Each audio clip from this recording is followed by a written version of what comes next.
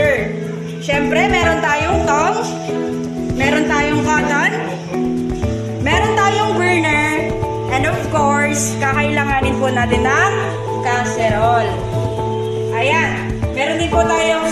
For our first step, kailangan po nating maghugas ng kamay before po natin gawain yung ating pong experiment. Iwasan po nating gumamit ng mga detergent soaps sa paghuhugas po ng ating mga kamay. Ito po ay para maiwasan na baka po eh meron pong mahalong ibang klase pa pong chemical. What are the importance of hand washing? First, minimizing contamination. Second, preventing infection. Unwashed hands can transfer bacteria or viruses to the patient, potentially leading to infection or exacerbating existing conditions. Our second procedure will be wipe the hands of the subject with clean absorbent cotton. At para naman po sa ating pong practitioner, it must be emphasized na magsuot po tayo ng medical gloves, ng ating pong laboratory gown, and of course, face mask. Let me remind you na ito po ay isang experiment lamang at yung ating pong subject is hindi po talagang literal na nagpaputok ng barel. However, gagamit po tayo ng raw gunpowder or ng unburned gunpowder. So, it can become embedded on the hands of the person or yung ating pong subject. At this moment, ilalagay na po natin yung ating pong casserole sa ating pong heat source at i-turn on na po natin yung ating pong burner. Gently place the paraffin wax on a heat source to melt. The paraffin should be heated gently to avoid overheating or burning. Stir occasionally to ensure even melting. Ano nga po ba itong paraffin wax? Paraffin wax is a white, translucent, tasteless, odorless solid consisting of a mixture of solid hydrocarbons of high molecular weight. It is insoluble in water and acids, insoluble in benzene, ligroin, warm alcohol, chloroform, turpentine, carbon disulfide, and olive oil. Combustible auto-ignition temperature 473 Fahrenheit or 245 degrees Celsius. Okay, so once the paraffin is melted, allow it to cool for a few minutes so that it will not burn the skin. Pagkatapos pong malinis yung kamay po ng ating subject, nahugasan at na punasan na po ng ating pong absorbent cotton, at pag nag-cool down na po yung ating pong melted paraffin wax, let the subject place her hand in a clean sheet of band paper with the palms facing downward and the fingers close together. Using a tongue with cotton, pour the melted paraffin wax in the hands of the subject from the thumb and index fingers and the dorsal portion to the little finger side of the hands. We must also place a thin layer of absorbent cotton to reinforce the wax. And this part, antay na lang po natin itong mag-cool down at mamuo.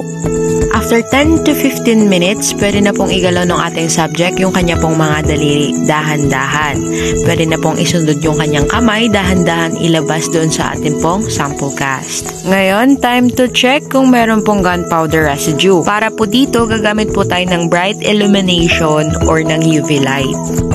Ayan, as you can see, yung mga glimmers po na nakikita nyo, ayan po yung ating pong gunpowder residue. Ibig sabihin po nito, positive po at nagkaroon po ng bakas sa skin. Not only in the skin, pwede rin po yung makita sa cloths. At para naman po sa ating cast, ipe-preserve po natin yon, no? Place on a bond paper, the case number, ilagay ang pangalan ng subject, time and date, technician who took the cast, witnesses and label the right and left hand. Place another bond paper on the top of the paraffin cast and staple together. Okay, so bakit po natin ito ginagawa? Um, the bond paper is stapled to the paraffin cast to keep the information together and organized. This ensures that all necessary details about the subject, time, date, technician, and witnesses are kept with the cast for proper identification and record keeping. And for the last procedure, the paraffin casts should be placed inside an envelope or a box for proper preservation. This helps to protect the cast from damage dust and moisture, ensuring that they remain intact and usable for future examination or analysis. As I have showed you already the process, let's talk about what is paraffin casting. No? Paraffin casting is a valuable tool in forensic investigation, but it should be used in conjunction with other evidence to establish a clear connection between suspect and a shooting incident. Okay, so what we did with our procedure is preserve po natin yung evidence, no? Preservation of evidence and then detection of GSR.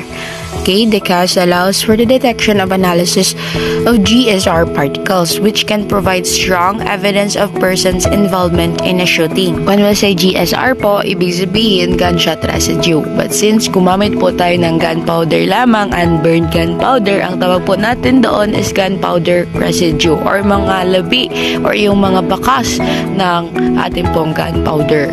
Yun po yung nakita natin doon gamit yung ating pong bright illumination kanina. But remember, ang paraffin casting po is not foolproof.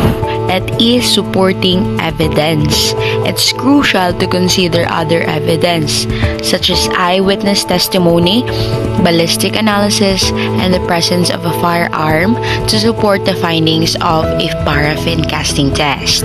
That's all for our video procedure and documentation conducted to the IPMC laboratory. Thank you for watching.